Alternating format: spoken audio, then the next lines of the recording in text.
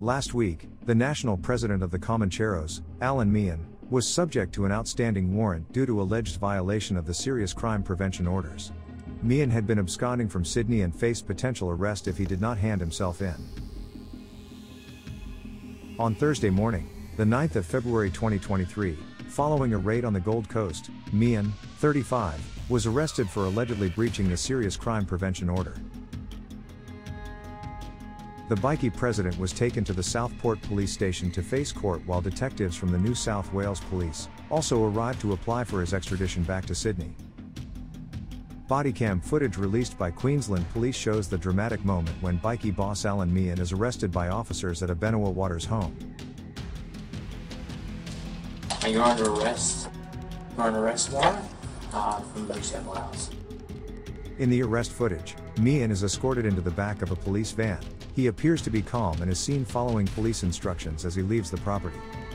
Police allege that Meehan had contravened his crime prevention orders by not providing the full address of his temporary accommodation, not providing an intended return date to his primary residence, and possessing or using a communication device with encrypted message capabilities. Detectives also executed two simultaneous search warrants at properties in Greystanes and Haymarket. A number of items were seized which will undergo further forensic examination. In the court, his lawyers told the magistrate that Meehan had moved to Queensland for his and his family's safety, concerned about a $3 million hit on his head. He had spoken to New South Wales police and told there was a hit on his head. Meehan had also paid 12 months' worth of rent up front, and had his child registered at a Gold Coast school.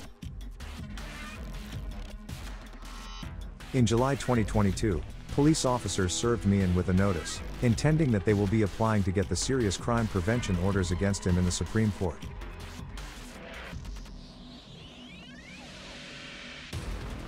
The service of the notice was video recorded and provided to media for publishing.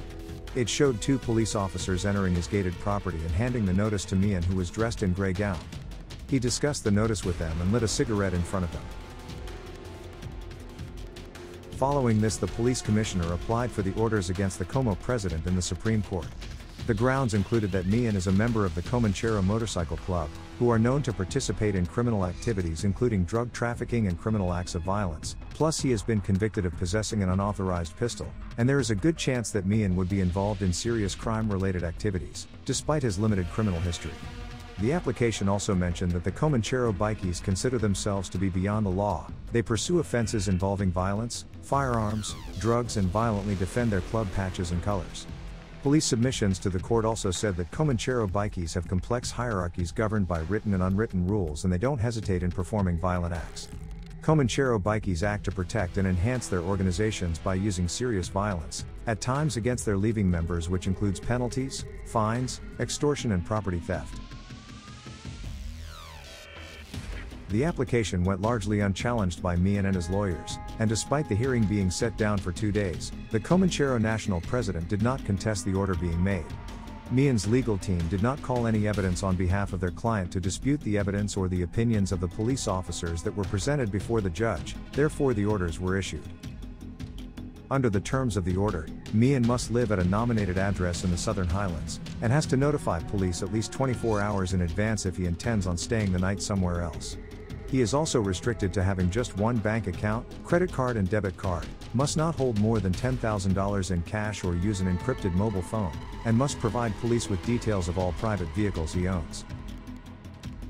If he ever uses a taxi or Uber, he is required to provide police with the number plate and his destination within 24 hours of taking the trip. Meehan was also banned from associating with 34 people including fellow bikies. It also subjected his phones, computers, and any other device, plus his bank accounts, to serious scrutiny. Furthermore, Meehan is also prohibited from using an alias, changing his address without notice, and restricts his use of phones, emails, and online accounts. The court also issued a ban on Meehan wearing any club colors or outlaw motorcycle gang related clothing or jewelry and insignia outside his home. He was also banned from posting pictures on social media of him wearing such attire.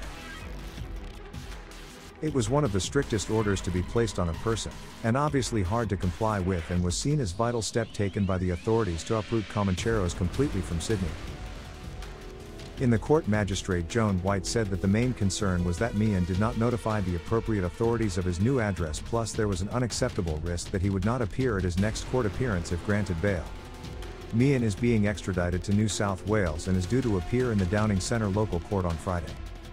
Queensland Police also issued Meehan a reciprocal order containing the same restrictions he is subject to in New South Wales. According to the legislation, breaching the conditions of a serious crime prevention order can lead to a maximum penalty of up to five years imprisonment and a statutory fine to be decided by the judge.